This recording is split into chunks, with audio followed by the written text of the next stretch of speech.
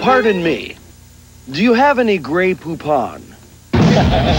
Wayne's World, rated PG-13, starts Friday, February 14th. Pardon me, would you have any Grey Poupon?